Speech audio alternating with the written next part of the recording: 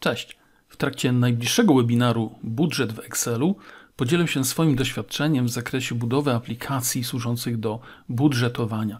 Pokażę to na przykładzie takiej e, szkoleniowej aplikacji Budżet 2020. 1. Jak ona wygląda? Otóż w menu centralnym możemy bezpośrednio odświeżać dane pochodzące z plików e, szczegółowych.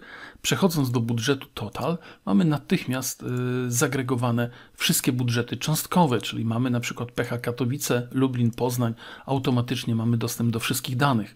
Żółte kolory tutaj, bardzo ciekawa rzecz, podpowiadają nam, że w danych tutaj znajdujących się w danej komórce znajdują się jakieś komentarze, na przykład luty czekolady oraz wszystkie elementy szczegółowe. Także bardzo szybko z poziomu budżetu zagregowanego możemy przechodzić do danych szczegółowych. A teraz zobaczmy, w jaki sposób budujemy i w jaki sposób tworzymy poszczególne budżety cząstkowe.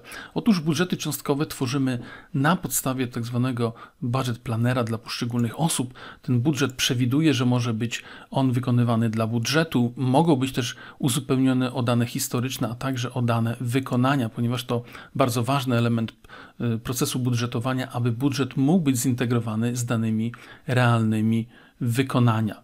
I teraz zobaczmy, założymy sobie nowego handlowca, na przykład PH Kraków i klikamy utwórz nowy plik do planowania i teraz już jesteśmy w gotowym formularzu do wpisywania wartości, czyli wpisujemy tutaj wartości planowania, tutaj możemy swobodnie sobie y, kopiować dane, tak jak normalnie w Excelu, kopiujemy dane, i zrobimy zapisz do bazy i w tym momencie te dane już trafiają do bazy, ale możemy jeszcze wpisać e, jakąś wartość dużą, zapisać i możemy też dodać komentarz, czyli na przykład możemy napisać promocja, sieć A, B, C, D, zapisz i tutaj zobaczmy, że dodatkowo jeszcze mamy kolorem mm, wyznaczone komórki, które zawierają komentarze. I teraz przejdziemy już do naszego pliku agregującego. Teraz z poziomu budżetu total wystarczy odświeżyć dane, program mm, pobierze wszystkie e, aktualne informacje, przechodzimy do widoku budżet total i zobaczmy, że mamy już tutaj e, dodanego PH Kraków, to dokładnie te dane. Jeżeli klikniemy, to zobaczcie, mamy promocja sieć ABCD, także w ten sposób bardzo szybko przenosimy i integrujemy wszystkie dane z plików cząstkowych. Jeśli zatem szukasz inspiracji do budowy skutecznych narzędzi wspomagających procesy zarządzania, to zapraszam Cię do udziału w moim webinarze.